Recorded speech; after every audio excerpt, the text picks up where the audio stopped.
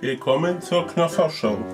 Nun, viele von Ihnen fragen sich sicherlich, ist jetzt hier Rot größer als Schwarz oder sogar Schwarz größer als Rot?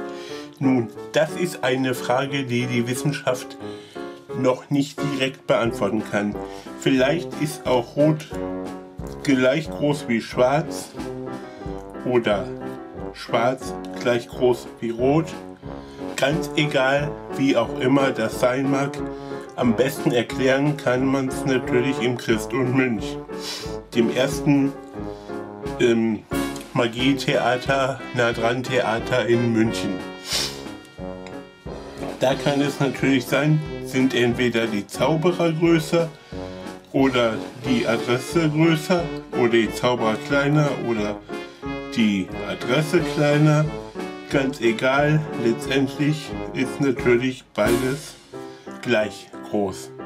Nun, das ist schon mal sehr interessant, ist natürlich dieses Messer, was nun US-amerikanische Forscher aus äh, Philadelphia herausgefunden haben, dass dieses Messer eine Besonderheit aufweist.